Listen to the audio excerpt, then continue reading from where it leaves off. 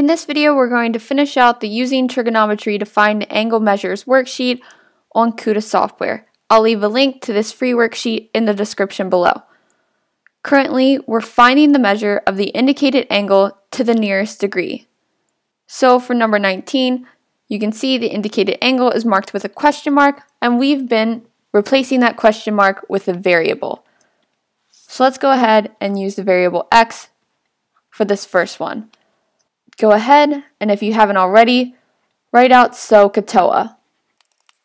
This will help us remember whether to use sine, cosine, or tangent when solving for the measure of that angle. So the measure of angle x is what we're solving for. We're given the side that is adjacent to x, and we're also given the hypotenuse, since the hypotenuse is always directly opposite the right angle. So we have our A for adjacent, our H for hypotenuse, so we're going to use cosine. The cosine of angle X is equal to the adjacent side length, which is 26, over the hypotenuse, which is 45. We need to isolate this X so we're going to take the inverse cosine of both sides. The inverse cosine of the cosine of x is simply x, and then we're going to enter in the inverse cosine of 26 over 45, making sure our calculator is in degree mode, and that's going to give us 54.7, which rounds to 55 degrees for number 19. So that indicated angle is approximately 55 degrees. In number 20, let's go ahead and call this angle z. We're given what's opposite z, and we're given the hypotenuse of 19. So we're going to use sine. Opposite and hypotenuse, we're going to use sine. So the sine of that angle z is equal to the opposite side length, which is 16 over the hypotenuse of 19. Taking the inverse sine of both sides will help us isolate that z. We'll be left with z on the left-hand side, and that's going to be equal to the inverse sine of 16 over 19.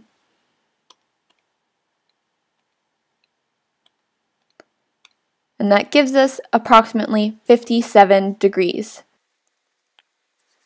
for number 20. In number 21, let's go ahead and call this angle x.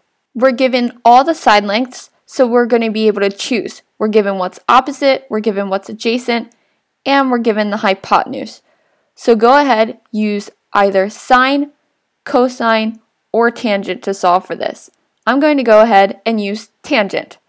So we have the tangent of x, so we're going to need to enter in the opposite, which is 76, and we're going to need to enter in the adjacent, which is 57. So the tangent of x equals opposite, which is 76, over 57. Doing the inverse tangent of both sides will give us that x is equal to the inverse tangent of 76 over 57, which is approximately 53 degrees. Let's go ahead and use another function to solve this. Let's use cosine.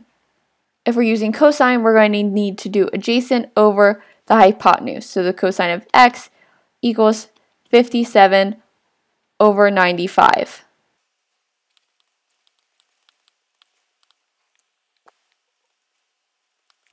Taking the inverse cosine of both sides, we'll get that x is equal to the inverse cosine of 57 over 95, which indeed equals 53 degrees.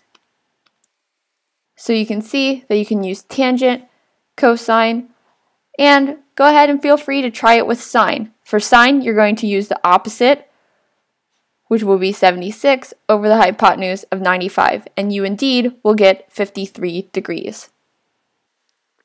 For number 22, we're given all three sides again. We're solving for this angle, let's go ahead and call this angle B. Since we didn't use sine in the previous, let's use it now. So the sine of B is going to be equal to the opposite, which is 72, over the hypotenuse, which is 75. Taking the inverse sine of both sides, we'll get that the measure of that angle B is equal to the inverse sine of 72 divided by 75, which is approximately 74 degrees for number 22. And feel free to use cosine or tangent as well. In number 23, we have 33, 44, and 55. If we're looking at this angle, let's go ahead and call this angle R. I used sine in the previous one, so I'll go ahead and use cosine this time. When I'm using cosine, I need to use the adjacent side over the hypotenuse. Our hypotenuse is 55, and the adjacent side is going to be 33. So the cosine of r equals 33, which is the adjacent side length, over 55.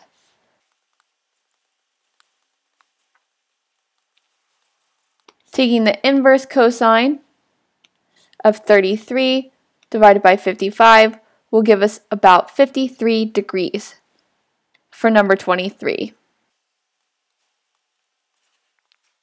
In number 24, we're given all three side lengths again.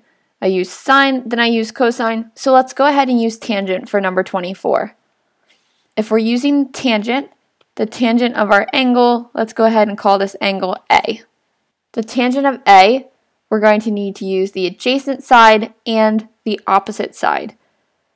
So that's everything excluding the hypotenuse. So we do not need to use this 97.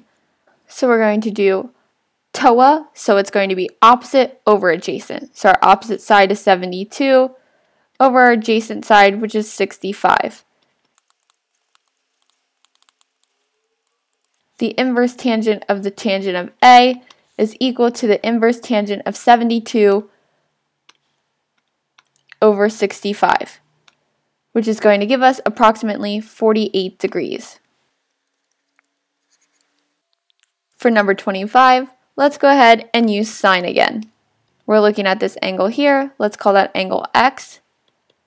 So the sine of x is equal to the opposite, which is 39, over the hypotenuse, which is 65.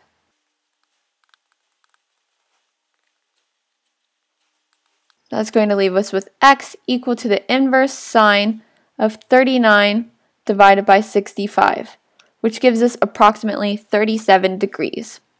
So 37 degrees is the measure of that indicated angle.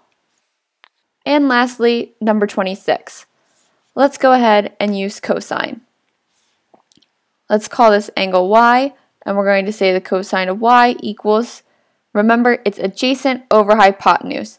So the hypotenuse is always directly across from the right angle.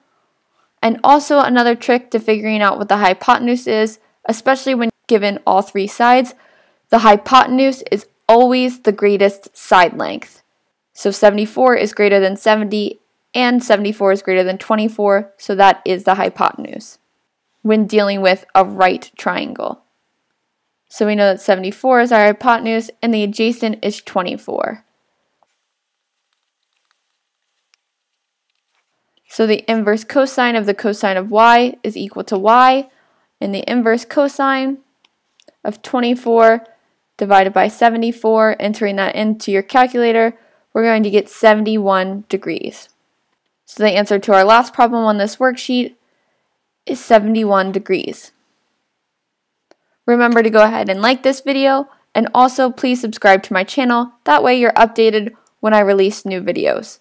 Also, if you have any questions, please feel free to comment below.